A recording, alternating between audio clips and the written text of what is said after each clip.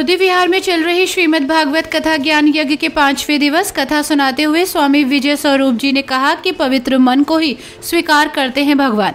माखन चोरी प्रसंग की कथा सुनाते हुए कहा कि भगवान गोपियों का माखन छीन कर चुरा कर खाते थे। हम मंत्रों के द्वारा भोग लगाते हैं। फिर भी हमें भगवान प्राप्त नहीं होते।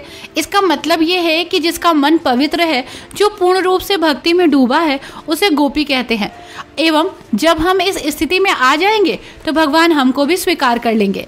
गिरिराज गोवर्धन की कथा सुनाते हुए बताया कि भगवान ने पहाड़ की पूजा कर प्रकृति का सम्मान किया और रक्षा करने का संदेश दिया। प्रकृति संतुलित रहेगी तो हमारा जीवन भी संतुलित रहेगा। यमुना और पेड़ों पर लीला करना भी गुप्त संदेश था। हमें नदियों, पेड़ों आदि पूरी प्रकृति, पर्यावरण का सम्मान और रक्षा करनी है। श्री कृष्ण का अनुसरण करते हुए हमको भी प्रकृति का रक्षण, संवर्धन करना है। तभी हमारा ये जीवन जीवित रहेगा, सृष्टि जीवित रहेगी। अन्यथा हम सबका भविष्य खतरे में आ जाएगा। कथा श्रोताओं में वीरेंद्र यादव, मुकेश यादव, संत कुमार यादव, अमन यादव, सूर्यकांत यादव, संचित यादव, विजयपाल सिंह, अरविंद राठौर, सविंदर सिंह, अभिषेक यादव आदि उपस्थित रहे। डंडा उठाया, जितने मटके थे सब फोड़ दिए। माखन में भगवान लौट रहे हैं। भगवान माखन में लौट रहे हैं। हाँ दूध दही की नदियाँ, जब द्वापर में भगवान आते हैं, दूध दही की नदियाँ बहती हैं। माखन की नदियाँ बहती हैं, माखन में भगवान लौटते हैं। मुरादाबाद वालों, आजकल के लोग काय में लौटते हैं? बोलो, काय में लौटते हैं? शराब पी के लौटते हैं। हाँ और शराब पी के लौटता है। और भगवान तो माखन में लौटते हैं दूध दही में भगवान लौटते हैं। हाँ भगवान दूध दही में कितना अंतर है? और कहता है भगवान में गलती है। वो तो शराब पी के लौट रहा है भगवान दूध दही में लौट रहे हैं तो भगवान को गलत बताता है। ऐसा आदमी आजकल। सुखदेव जी हस्तिनापुर के धर्म सम्राट राजा परीक्षित जी को कथा सुनाते कहते हैं राजन जसोदा मैया जब आई तो देखा कि पूरे आँगन में माखन बड़े क्रुद्ध हो गए। और डंडा उठाया, कन्हैया की पिटाई करने के लिए। कौन पकड़ सकता है? भगवान को क्रोध से कोई नहीं पकड़ सकता। भगवान को तो प्रेम से ही आप पा सकते हैं। प्रेम से।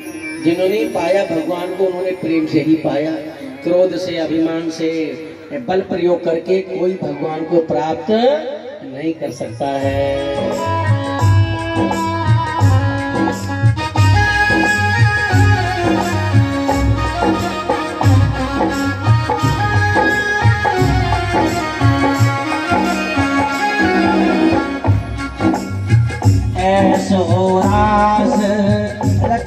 वृंदावन ऐसो रास रचो वृंदावन ऐसो रास रचो वृंदावन वृंदावन गोपिनी नाच नचाई